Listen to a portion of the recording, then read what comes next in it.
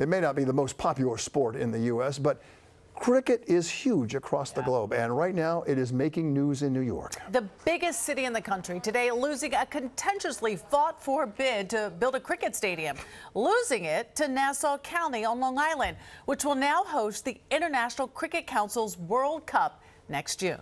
New York Mayor Adams really wanted this built in the Bronx, but there was big blowback. Sports anchor Ryan Field is here to explain is what's going on now. Ryan. Yes, there was, Bill and Sade, but this is going to be a huge deal out on Long Island next summer. Just as people in the Bronx turn their backs on the opportunity to host the men's T20 World Cup, Nassau County enthusiastically welcomed the tournament to Long Island.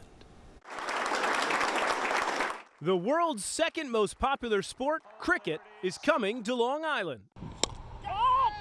The International Cricket Council had its eye on Van Cortlandt Park in the Bronx to host the 2024 World Cup. And while New York City Mayor Adams supported the idea, other elected leaders and people who live there weren't having it. There was even a threat of lawsuits if the plan moved forward.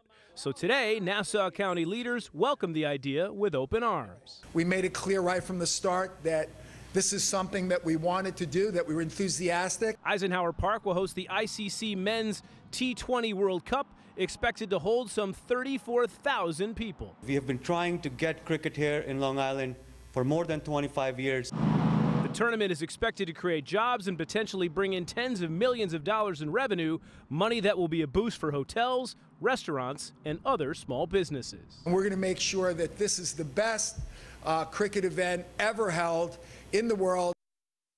And you get the feeling it's going to be just that. The three American sites for the tournament also include Florida and Texas.